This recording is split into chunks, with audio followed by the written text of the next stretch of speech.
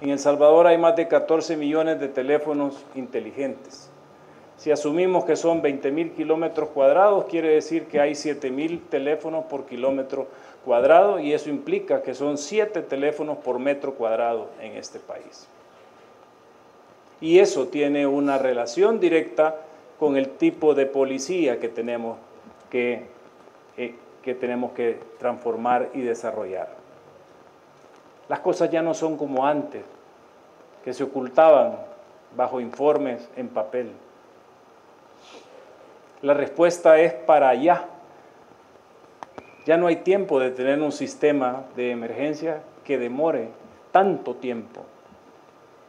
Tenemos que entender los tiempos en los que está transitando el mundo y, cómo esa conectividad en tiempo real también mete presión a la oferta de servicios que nosotros tenemos que dar como policía. Es un honor, en mi calidad de director de la Policía Nacional Civil de El Salvador, darles la más cordial bienvenida a esta significativa ceremonia de inauguración del tercer proyecto de fortalecimiento de la seguridad pública en El Salvador.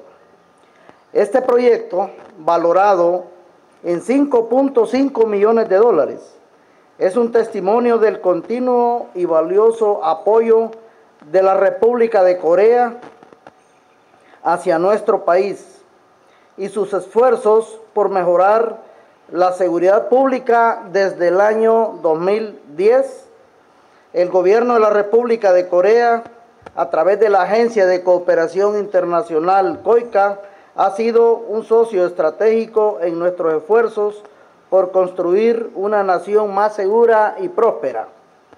A lo largo de estos años, Corea del Sur nos ha donado más de 12 millones de dólares en múltiples proyectos que han fortalecido nuestras capacidades de seguridad pública y respuestas a las demandas de seguridad de la población salvadoreña.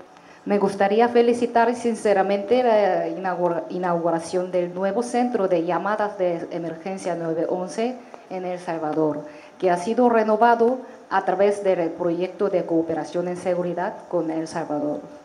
El proyecto Fortalecimiento de Capacidades de Seguridad que hemos estado impulsando conjuntamente desde 2019, no solo ha compartido el conocimiento y la experiencia, sino que también ha proporcionado una importante oportunidad para que las policías de ambos países se conozcan mejor y establezcan una relación de cooperación estrecha.